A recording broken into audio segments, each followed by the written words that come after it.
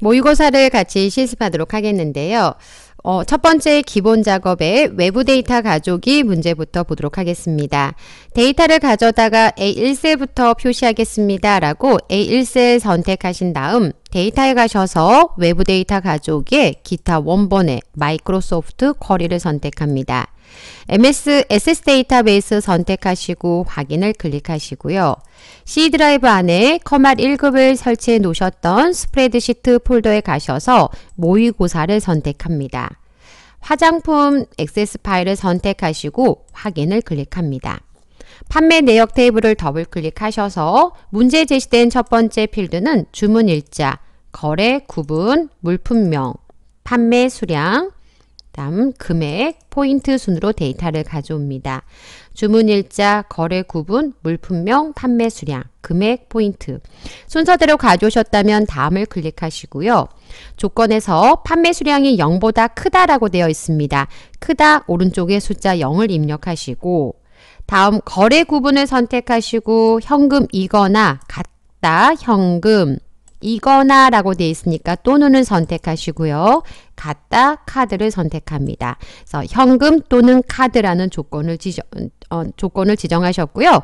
다음 버튼 클릭하셔서 첫 번째 정렬 기준은 거래 구분을 선택하시고 내림차순 두 번째 기준도 물품명을 선택하시고 내림차 순 하시고 다음을 누릅니다. 마침 클릭하신 다음 표 형태로 A1셀부터 표시하겠습니다. 확인 버튼 누릅니다. 가져오신 데이터에 문제의 범위로 변환이라는 문제가 제시가 되어 있으면 작업을 하시고요. 만약에 언급이 없다면 가져온 데이터까지만 작업을 하시면 됩니다. 현재 예제에서는 표 도구의 디자인 탭에 도구의 범위로 변환 한번 클릭하시고요. 메시지 상자가 표시가 되면 확인 버튼 눌러주시면 되겠습니다. 다음 두 번째 자료 관리 시트를 클릭하셔서 고급 필터 문제를 작성하도록 하겠는데요. 현재 예제에서는 수식을 사용하라는 언급이 없다면 데이터를 복사해서 사용하시면 되고요. 만약에 수식을 사용하라고 하면 조건이라는 필드명과 그 다음 여러분이 함수를 사용하셔서 조건을 작성하시면 됩니다. 상품명이 향수이고라고 되어 있습니다. 상품명과 향수를 선택하시고 B38셀에다가 컨트롤 V 합니다. 다음 판매 가격을 선택하시고요. 음, 판매 가격과 주문 수량 두 개 다 복사할까요? 그래서 E2셀과 F2셀을 컨트롤 C 눌러서 복사, 상품명 옆에다가 컨트롤 V 하겠습니다. 첫, 건, 첫 번째 조건은 상품명이 향수이고 판매 가격이 작거나 같다 5만에 해당한 값을 입력합니다. 두 번째 주, 어, 뭐뭐 이고니까 주문 수량이 800 이상 1000 이하라고 되어 있습니다. 주문 수량 한 번 더 복사 붙여넣기 하시고요. 크거나 같다 800, 그 다음 작거나 같다 1000이라는 조건을 입력합니다. 그래서 800 이상 1000 이하 행위나 첫 번째 조건이 좀 길었습니다. 향수이면서 향수이고 판매 가격이 5만원 이하이고 주문 수량은 800부터 1000까지 그 다음 이 조건에 만족하거나 또는 주문 지역이 주문 지역이 서울에 해당한 데이터라고 되어 있습니다. 그래서 주문 수량 옆에다가 주문 지역을 넣었는데 이 서울이라는 지역은 첫 번째 조건에 만족하거나 또는 두 번째 조건이기 때문에 행을 다르게 해서 작성하시면 됩니다. 이 조건에 만족한 데이터에 모든 데이터를 가져오지 않고요. 주문 번호와 상품 명가, 그 다음 판매 가격과 주문 수량, 그 다음 주문 지역, 그 다음 주문 일자. 추출하고자 한 필드명을 선택하셔서 컨트롤 C, B43에다가 컨트롤 V 합니다.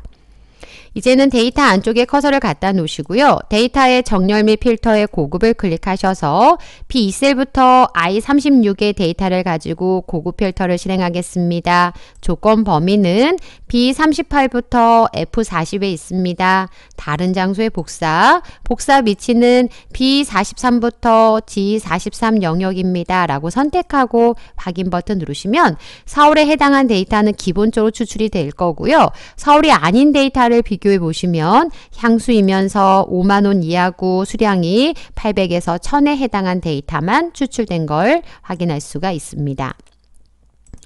자, 고급 필터 문제까지 작성해 보셨습니다. 다음은 음, 조건부 서식 문제인데요. 조건에 만족한 데이터 전체 행에다가 서식을 지정하는 거라서 첫 번째 있는 제목행을 뺀 B3부터 I 36까지 범위를 지정합니다. 그 다음 홈에 가시면 스타일의 조건부 서식이 있고요. 새 규칙을 클릭합니다. 수식을 사용해서 서식을 지정할 셀 결정을 먼저 누르신 다음에 수식을 작성할 건데요. 뭐뭐 이면서라고 되어 있습니다. 등호하시고 and가 들어가겠죠. 함수 이름은 and, and 입력하시고 가로 여시고요.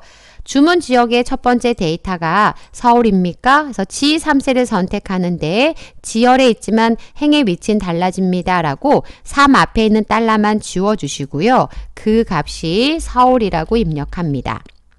심표 4월이면서 주문 일자가 1월입니다. 그럼 월을 추출하기 위해서 먼스 함수가 필요할 것 같고요.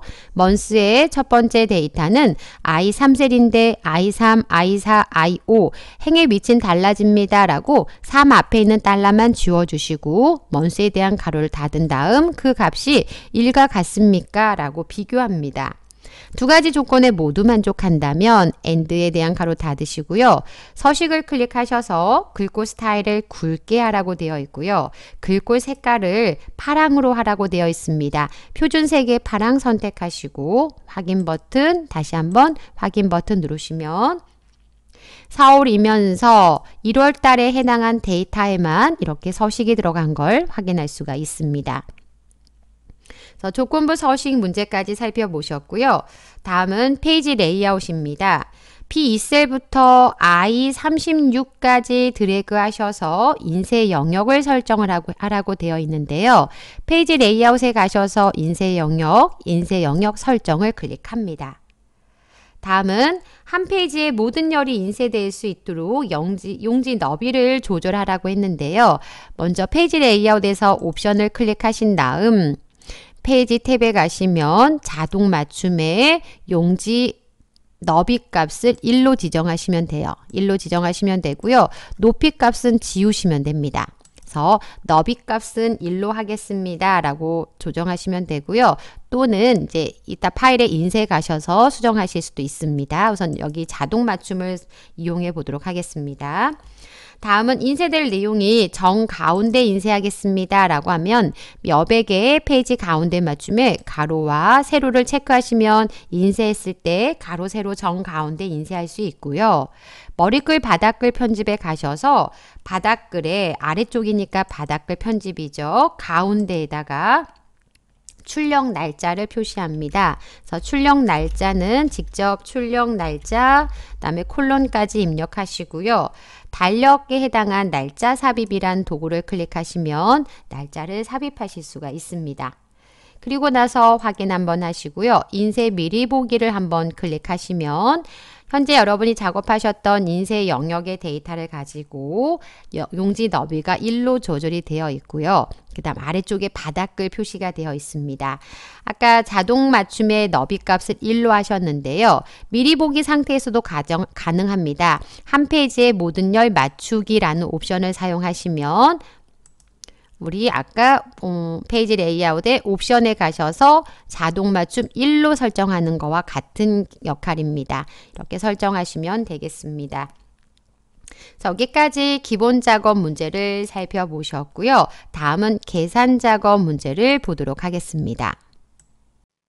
첫 번째 계산 작업은 분류별 1, 3, 4분기와 4, 4분기의 평균을 구하라고 했습니다. 그래서 표 2부터 작업을 하시면 될 것 같고요. 음, 먼저 조건에 만족한 데이터의 평균값을 구하기 위해서 L 5셀을 선택하시고요. equal average if 함수 입력합니다. 그 다음 첫 번째 range는 분류에 가서 데이터를 찾겠습니다. 라고 분류가 어, 입력된 데이터 D4부터 D43을 선택하되 수식을 복사하더라도 항상, 항상 같은 자리입니다. 라고 F4 눌러서 절대 참조, 쉼표. 그 다음, 음, 저희는 조건은 기능성이라고 입력된 K5셀을 선택합니다. 아래로만 복사하면 문제가 없지만 옆으로도 복사할 거라서 F4, F4, F4 눌러서 K열에 있습니다. 라고 고정시켜 주시고요.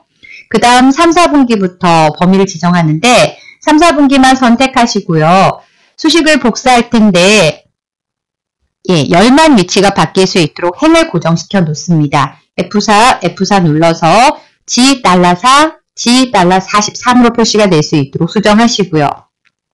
그리고 에버리지 if에 대한 가로 닫고 엔터 누르시면 평균값을 구하실 수가 있고요.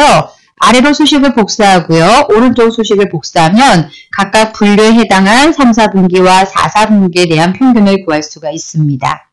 조금 전에 구한 값을 소수 첫째 자리까지 표시하기 위해서 L5셀에 equal 다음에다가 올림해서 표시하라고 했습니다. round up이라고 입력하시고요.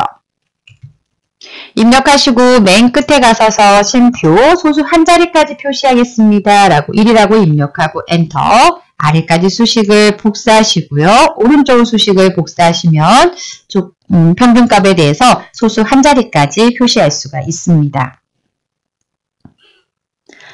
다음은 두 번째 어, 계산 작업인데요. 판매 업체 수를 구합니다. frequency 함수하고 그 다음에 텍스 함수까지 사용해서 구한 값에다가 업체를 붙여서 표시하라고 했습니다.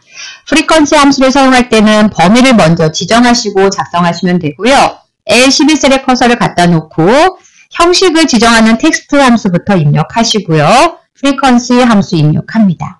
첫 번째 데이터를 물어봅니다. 음, 판매 업체 수라고 되어 있고요. 어, 판매 업체 수 L10 음, 보니까 1, 4분기 영역과 1, 4분기 주문량을 참조해서 작성하라고 했습니다. 1, 4분기의 데이터 E4부터 2, 43까지 선택하고 심표 1, 4분기 양각 그 다음에 다시 한번 이제 빈도수를 구할 수 있는 영역은 1, 4분기 주문량이 입력된 K11부터 K16까지 선택하고 가로 닫으시면 빈도수를 구할 수 있고요. 구한 값을 샵, 어, 큰 따옴표 묶어서 샵 업체라고 입력하시고요. 뒤에다가 업체를 표시하겠습니다. 라고 작성하신 다음에 어, text에 대한 가로를 닫으시고 배열 함수니까 컨트롤 Shift 엔터 눌러서 수식을 완성하시면 되겠습니다. 어, 다음은 세 번째입니다. 표 1과 표 4의 조건을 이용해서 음, K 분류가 색조에 해당한 조건의 어, 조건을 이용해서 색조 중에서 3, 4분기의 주문량이 가장 많은 주문 코드를 계산하라고 했습니다. 우리가 가져올 데이터는 주문 코드입니다. 주문 코드고요. 그 다음에 분류에 가서 색조를 찾을 거고요. 색조에서 가장 큰 값, 3, 4분기의 가장 큰 값을 찾습니다. 먼저 음, 커서를 L20셀 선택하신 다음에 index 함수부터 작성을 하겠는데요. equal index라고 입력하시고요. 다음 첫 번째 index는 실제 우리가 가져올 데이터는 주문 코드에서 가져오겠습니다. 라고 B4부터 B43까지 선택하고 쉼표 가져올 데이터의 행일, 행일 위치 값을 구하기 위해서 매치 함수가 필요했고요. 매치 가로 입력, 어, 입력하시고요. 매치 함수는 첫 번째 찾을 값이 필요하는데 분류가 색조이면서 그 다음에 3, 4분기에서 최대값을 구하는 작업이 필요합니다. max 함수가 필요할 것 같고요. 최대를 구하기 위해서 문제에서 또 if 함수도 사용하라고 했으니까 if 입력하고 가로 열고요. 그 다음 첫 번째 조건을 입력하기 위해서 분류에 있는 D4부터 D43까지 선택하고요. 그 값이 색조와 같습니까? K20과 같습니까? 라고 비교하고 그렇다면 저희는 3, 4분기에서 데이터를 가져다가 색조에 해당한 데이터에 가져다가 표시하겠습니다. 라고 if에 대한 가로를 닫습니다. max에 대한 가로를 닫으시면 음, 가장 큰 값을 가져오겠죠. 색조이면서 어, 3, 4분기에 가장 큰 값을 가져올 수 있고요.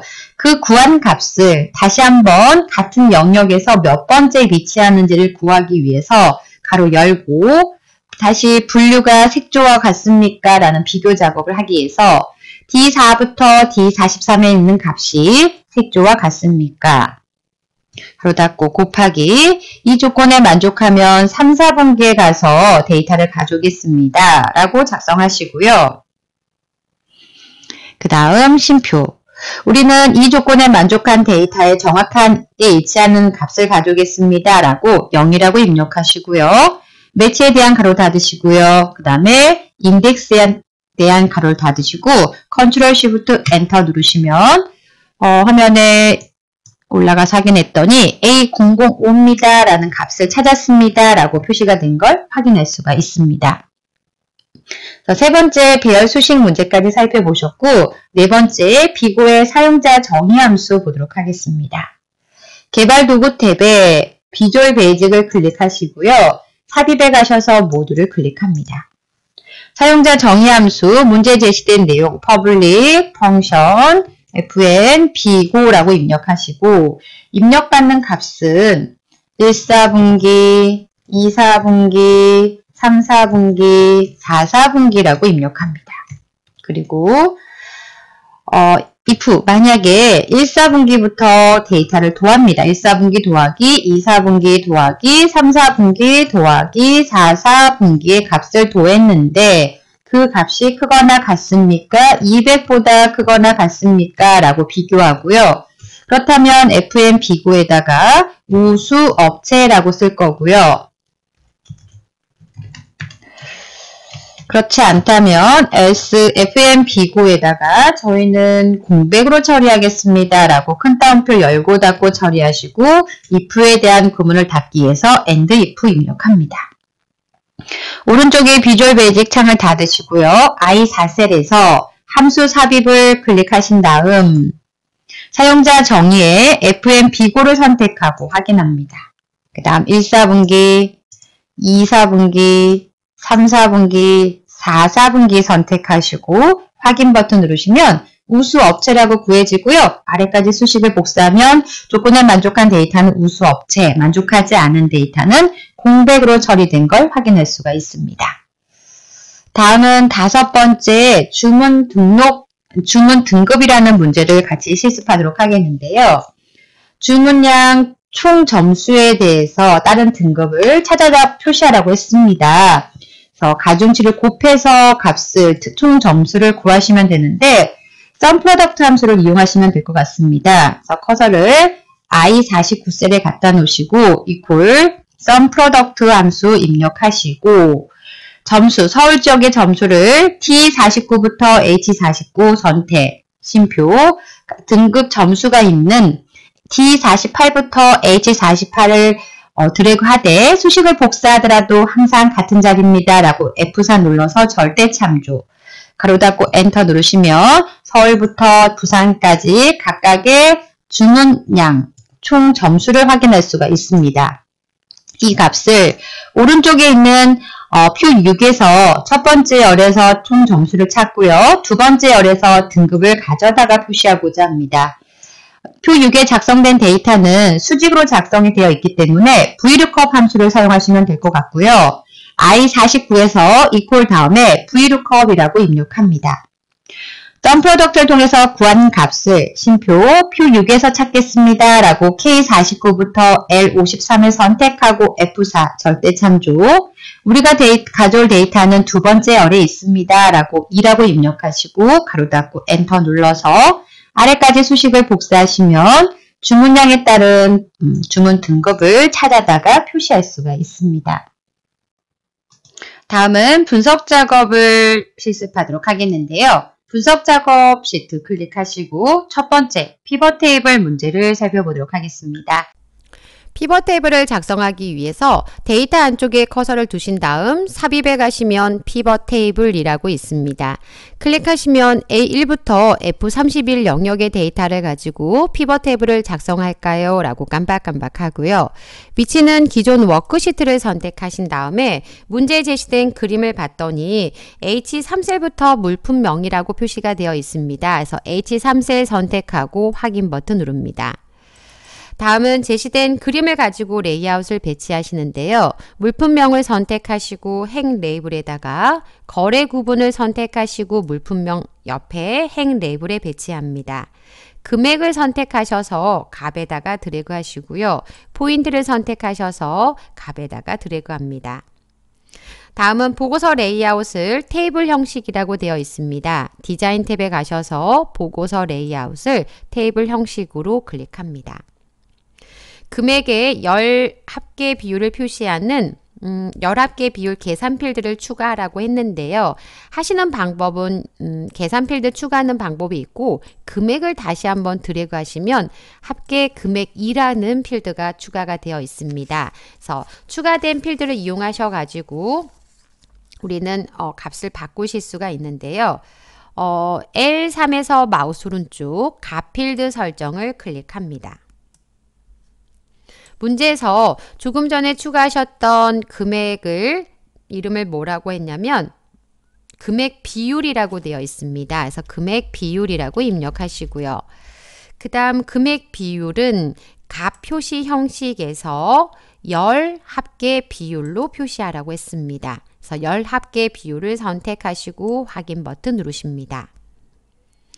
다음 이제 합계 금액이라는 필드에 대해서 음, 숫자 값 필드 설정에 음, 합계 비율에서 마우스 오른쪽 값 필드 설정에 표시 형식을 클릭하셔서요. 숫자에 천 단위 구분 기호를 사용하겠습니다. 라고 선택하시고 확인 버튼 누르시고 다시 한번 확인 버튼 누르시면 금액에 대해서 어, 문제 제시된 그림과 같이 숫자 천 단위 구분 기호를 표시할 수가 있습니다.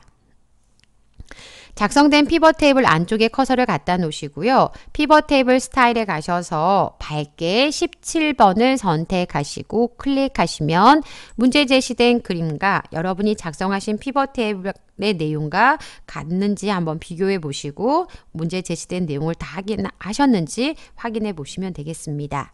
자, 분석 작업 첫 번째 피벗 테이블 문제를 살펴보셨습니다. 다음은 두 번째 적립금 시트의 매크로 문제를 보도록 하겠습니다. 매크로 작업을 하기 위해서 비어있는 셀을 먼저 선택하시고 개발 도구 탭의 매크로 기록을 클릭합니다. 매크로 이름을 적립금이라고 되어 있는데요. 적립금 입력하시고 확인 버튼 누릅니다. G4셀을 클릭하는 작업이 매크로에 기록이 돼야 되고요. G4셀 선택하시고 바로 왼쪽에 있는 판매 금액 곱하기 0.1로 하겠습니다.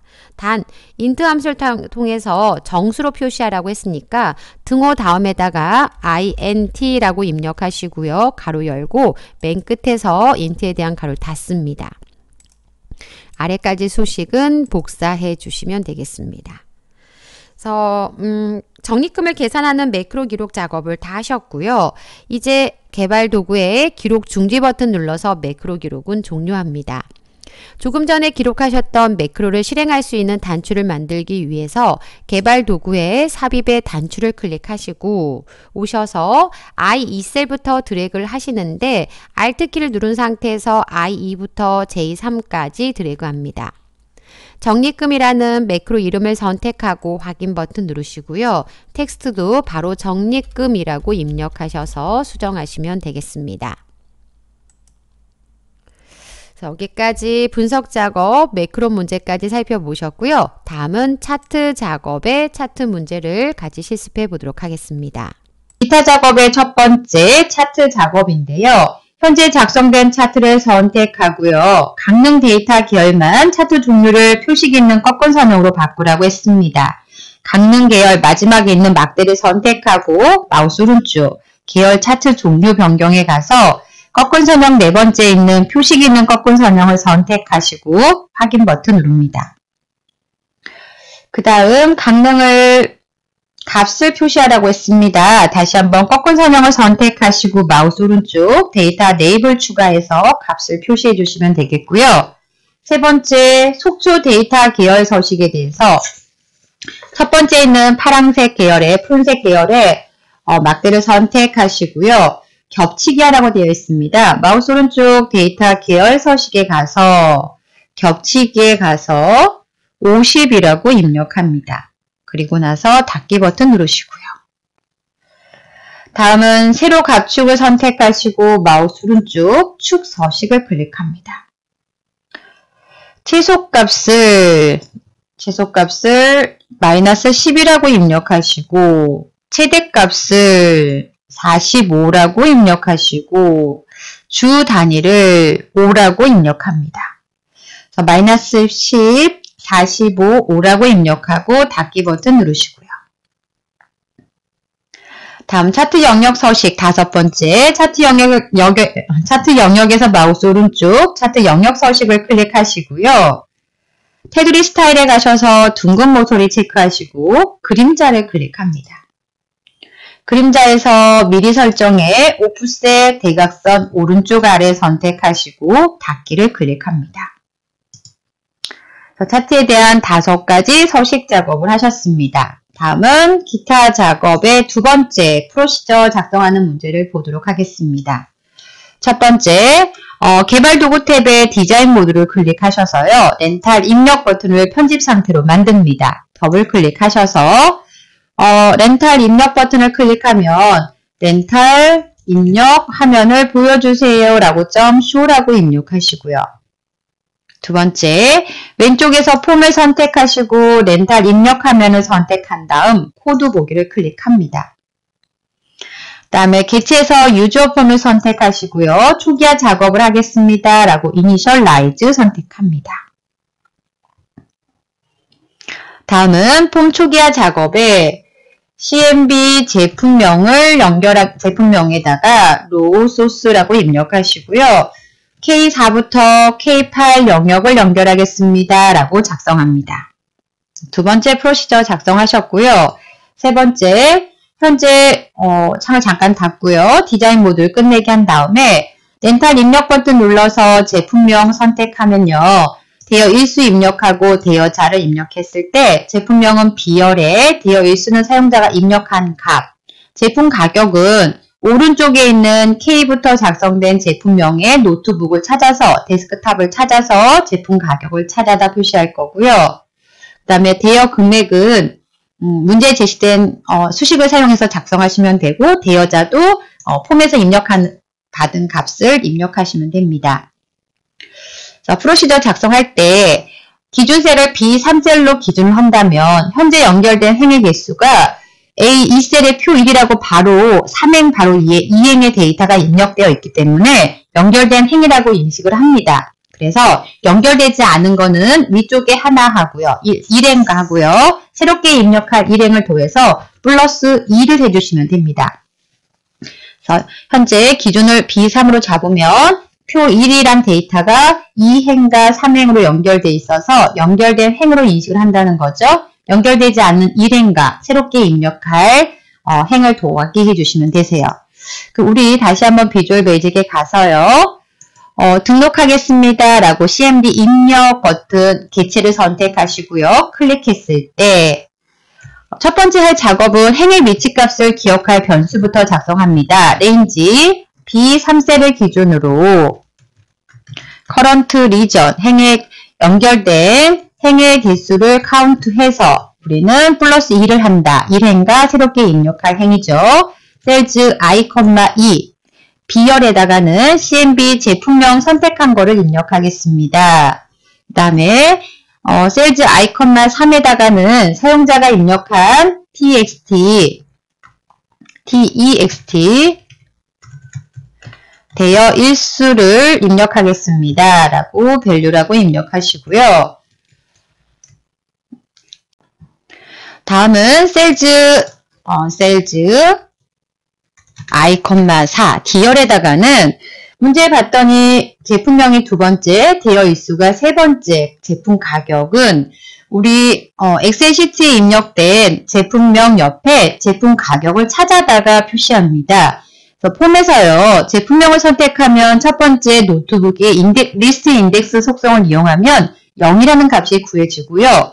0이라는 값에다가 K4에 있는 값을 찾을 수 있도록 하려면 어, 플러스 4를 하면 음, 행의 위치를 구할 수 있고요. 제품 가격은요. A부터 시작해서 1, 2, 3, 4, 5, 6, 7, 8, 9, 10, 11이 제품 명일이고요. 12가 제품 가격입니다. 다시 한번 셀즈 i, 4는요. 어, 셀즈 아이콘, 어, CMB 제품명에서 선택한 리스트 인덱스 속성을 이용해서요. 인덱스 속성을 이용해서 플러스 4를 하고요. 12번째 열에서 가져오겠습니다. 그 다음 cells i, 5에 있는 값은요. 5는 대여 가격했고 대여 아, 금액입니다. 금액은 cells equal cells i, 4에서 구해놓은 제품 금액 가격 곱하기 0.05 곱하기 대여 일수는 위쪽에 입력되어 있는 i, 3을 가져옵니다. 근데 문제에서요. 대여 일수를 입력하지 않았으면 이런 조건이 있습니다. 그래서 if sales i, 일수를 입력하지 않았다면 공백으로 처리하시고요. 그렇다면 저희는 음, sales i, 5에다가 대여 일수 입력이라고 대여 일수 입력이라고 입력할 거고요. 만약에 입력이 되어 있다는 전제가 되면 조금 전에 작성하셨던 셀즈 i, 5에는 계산식을 넣으시면 됩니다. if 구문을 사용하셨으니까 and if로 닫아주시면 되겠고요. 마지막 어, 대여자에 대해서는 셀즈 i, 6에다가는 직접 입력받은 값 txt text 대여자라고 입력하시면 됩니다. 이제 어, 작성하신 내용이 맞게 작성이 되어 있나 확인하기 위해서요. 네, 창을 닫고 렌탈 입력에 가서 제품명 선택하고 대여 일수 입력하고요. 대여자 한번 입력했을 때 입력 버튼 눌렀을 때 정상적으로 제품명과 대여 일수와 가격과 금액과 대여자까지 입력이 되는지 확인해 보시면 되겠습니다. 자, 여기까지 모의고사 어, 살펴보셨습니다. 수고하셨습니다.